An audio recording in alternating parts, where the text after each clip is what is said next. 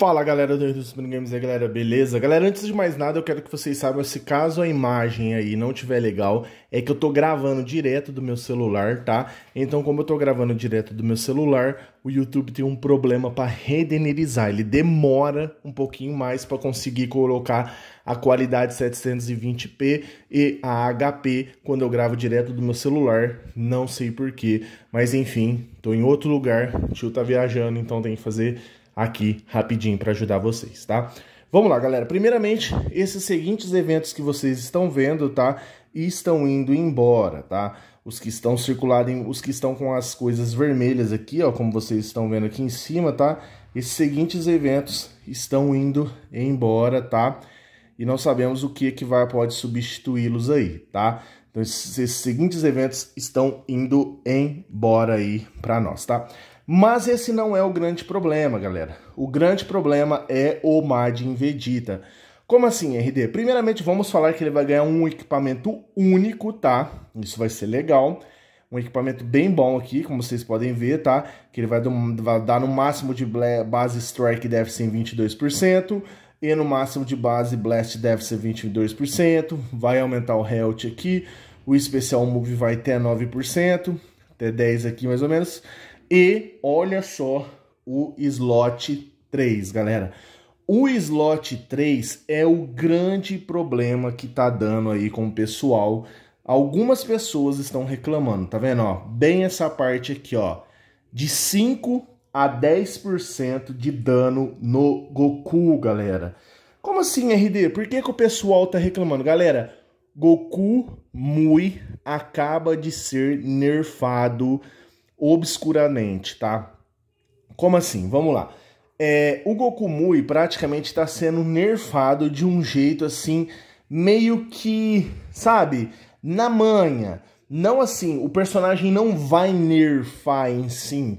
O Goku Mui, o Goku Papai Noel vai continuar com a mesma força que ele tem, tá? Nada vai mudar. Antes de mais nada, fica calmo nisso. Goku Papai Noel continuará sendo forte como ele é. Porém, esse Vegeta vai ser um nerf pro Goku Papai Noel, galera.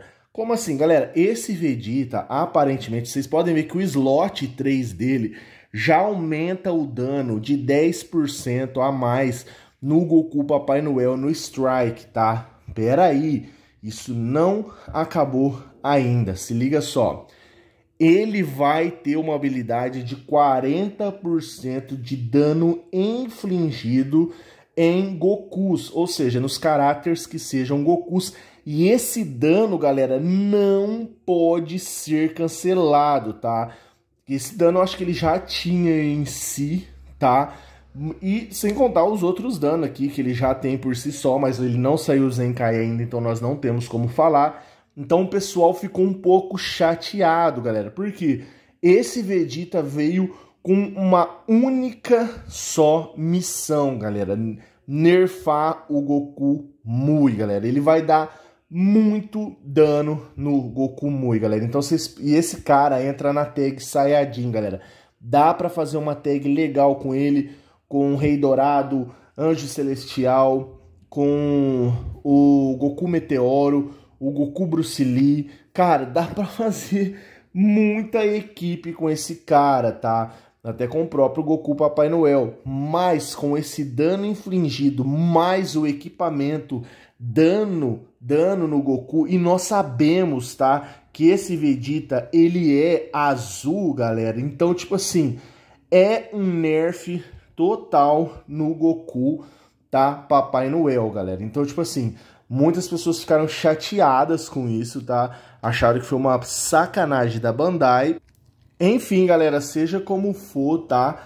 Tamo aí. Goku Mui tem um grande adversário pra frente e nem saiu os status ainda do Vegeta, tá? Então, tipo assim, é um, uma, é um Vegeta pra nerfar o Goku Papai Noel, tá, galera? Isso aí eu achei também muita sacanagem, cara. Se fosse um personagem que eu gostasse, eu ia ficar bem chateado também.